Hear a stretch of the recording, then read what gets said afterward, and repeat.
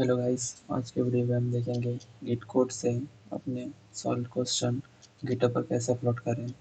तो इसके लिए सिंपली हमें इंस्टॉल करना है या ऐड करना है एक्सटेंशन जिसका नाम है ओके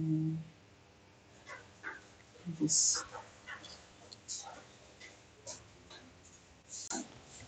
गिटहब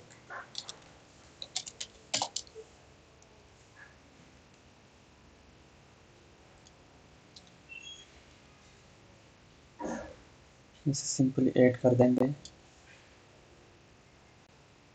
ऐड।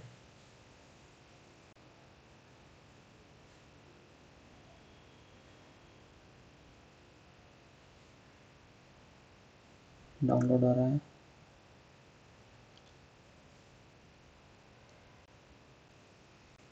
डाउनलोड होने के बाद हमें क्लिक करना है इंस्टेंस देन यहाँ पे इसे पिन करना है।